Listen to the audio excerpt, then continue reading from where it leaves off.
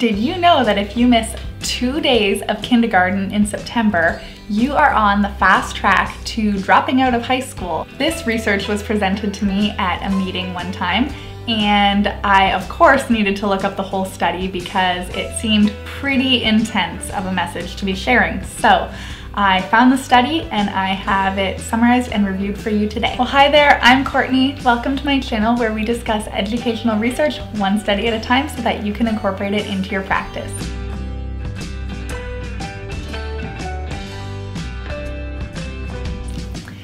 So today's study is about chronic absence. It is titled Data Matters, using chronic absence to accelerate action for student success. Grab a cup of tea or coffee if you drink that stuff, have a seat and we'll chat together. Or if you're truly in the classroom right now, you can just listen to this while you sweep up all the crumbs off the floor and rearrange desks and wipe down the boards and all that great stuff.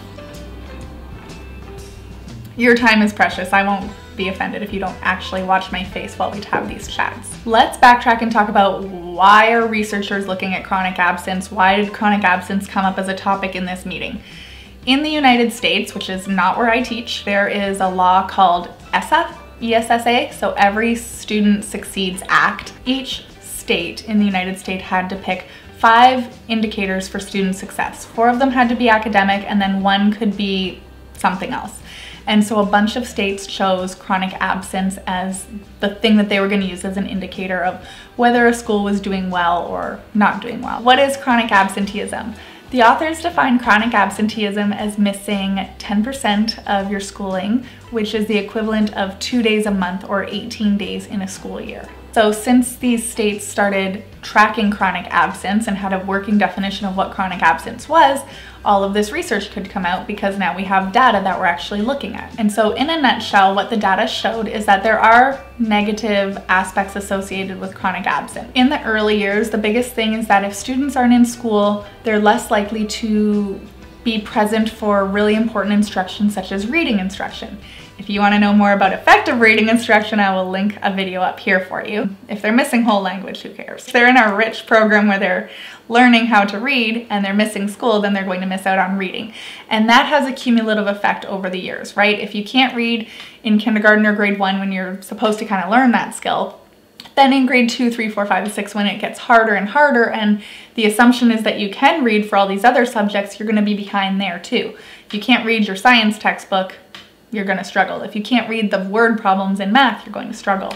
And so the early years does provide a lot of opportunities for students in terms of their learning, but they need to be present for it because the foundations are being built. Now, when this research was first presented to me, in my head I kept thinking, I bet SES is a problem, I bet SES is a variable, I bet SES is a factor. Lo and behold, it is! Now, of course, like many issues that we come across in school, students who experience inequities in other aspects of their life are going to be hit harder by being chronically absent and the negative effects are going to be magnified for them in terms of their learning. So in this study they noted students who are who have chronic illness, students who live in poverty, students who have disabilities, students who are homeless or who have frequent moves tend to be in that group where experiencing chronic absence is magnified for them and their learning is much more affected in a negative way because of it. None of these issues scream bad parent alert. It's not like parents are saying,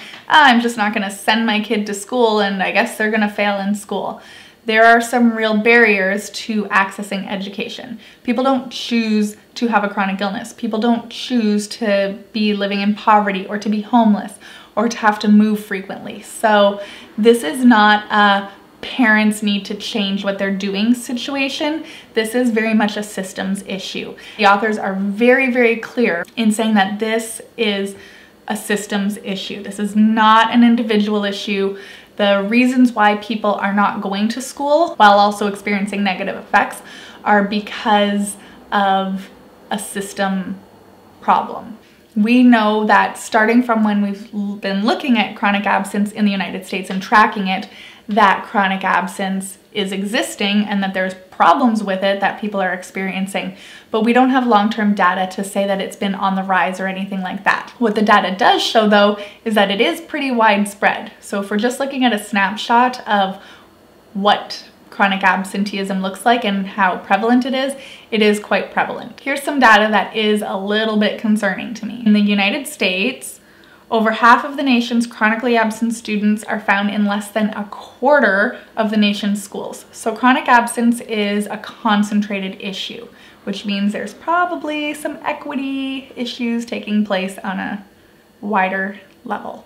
What the researchers also noticed was in every single state in the United States, there was chronic absenteeism. So it wasn't just some states had it, some states didn't. It existed in every state and it existed on a significant level. So what they used to define that was that 10% or more of students were chronically absent. The researchers also noted that in 58% of schools, at least one in 10 students was chronically absent. It's not just that some students aren't going to school in some places, it's that in some places, many students aren't going to school. The authors also noted that schools that serve students in special education or alternative education or vocational education have higher prevalence of chronic absenteeism. So these are schools that don't use the integrated model. They would be a special school designed to meet the needs of a certain subset of students who are typically experiencing educational disparities in one way or another. The authors do note though that this finding shouldn't just be students who have disabilities and go to these schools are more likely to be absent the data doesn't show a direction. There could be a different variable that hasn't been looked at yet. It could be that the schools are doing something that isn't meeting the needs of students to get to them. It could be that the students are predisposed to not going to school. There's no information on that yet. Schools that have higher levels of poverty are also more likely to have higher concentrations of students that have chronic absenteeism and extreme chronic absenteeism.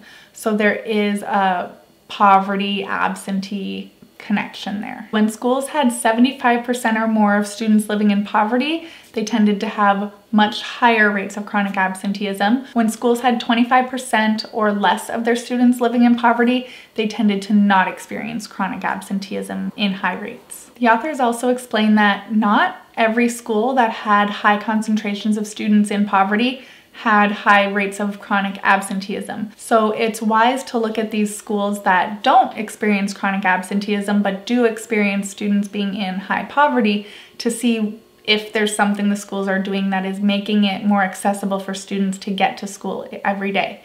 It could be that there's something happening in the community.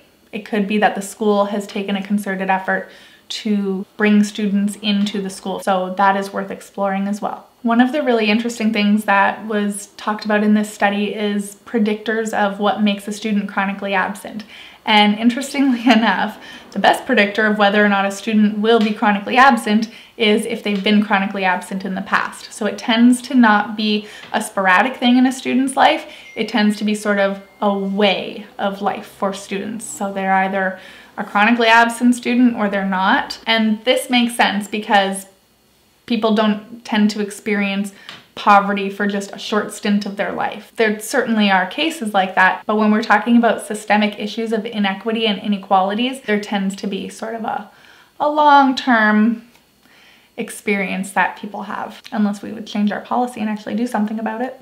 All right, so what can we do about this? Well, if you are a policymaker or administrator, then listen up. If you're a classroom teacher or an educator in some capacity, stick around too because there are things that you can do as well. So the first thing is to track the absences by the school, figure out who these students are that are missing school so that you know what you're working with. Then the next thing to do is to make sure that there's a team responsible for absenteeism. The next thing to do is to engage parents, families, staff members, and community partners so that we can work together to solve this problem because remember, it's a systems issue. So if students aren't going to school because they don't like their teachers, maybe teachers need to reflect on what their daily interactions with each student are. Do students feel welcomed in your classroom or do they feel like they don't belong? Do students get ridiculed if they come back to school after being sick?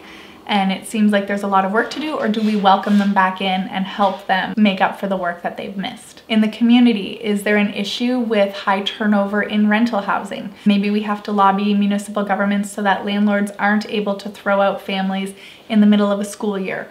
I'm not quite sure what the solution is there, but if we know what the problem is in your school because you've collected data, then you can work to really figure out some solutions. The next thing that is suggested is to look for bright spots. So look for schools that should be experiencing chronic absenteeism because they have many things in common with students that do experience chronic absenteeism, but for whatever reason, kids are coming to those schools and see if you can figure out why that might be the case and then copy what they're doing if it's working. Another thing to do is to use the data to assess the need for other resources that the community might be able to provide so that again, we can come together and help students and then finally, incorporate attendance goals to help meet the needs of school improvement plans and to have some indicators of when it's important to enact strategies. So what you'll notice is that this article did not say, hey, the minute a kid is not showing up for a certain amount of time, you should send a threatening letter and expel them from school. That would be a more individual approach. This research is really saying chronic absenteeism isn't students just not coming to school because they don't feel like it or their parents don't want to send them.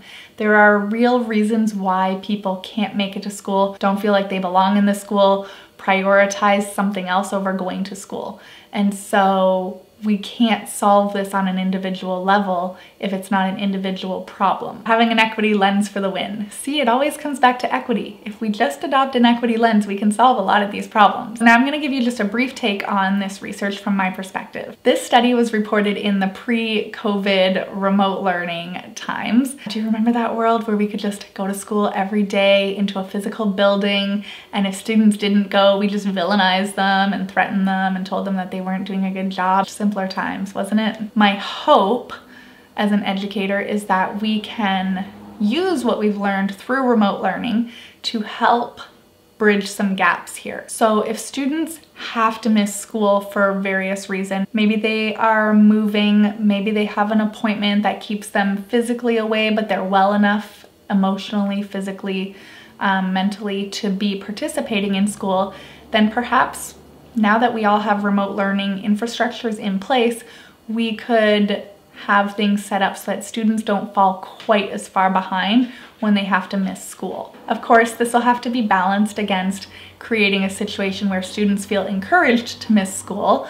Uh, for example, if it's really easy to access all of the information online, perhaps we might see a rise in students taking more vacations or taking extracurriculars during the school day.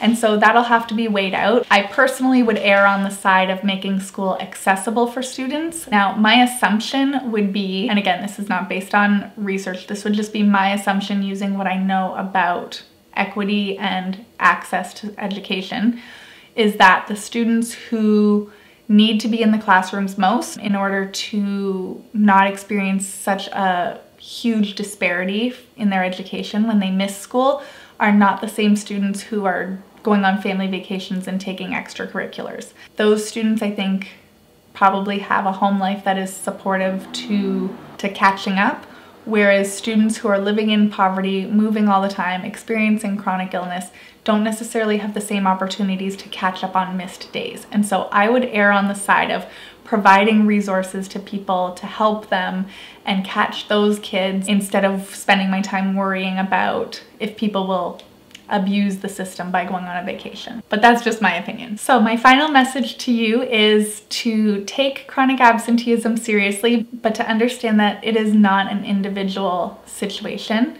It is not just people deciding that they don't like school and they're not going to go, and to really look at how we can nurture attendance in schools from a systems level. As a teacher, let's make our classroom welcoming and let's set up systems so that when students do have to miss school, they don't miss the learning that can take place. As administrators, let's make sure that we're tracking attendance and making sure that we know which students are missing and when and why and how.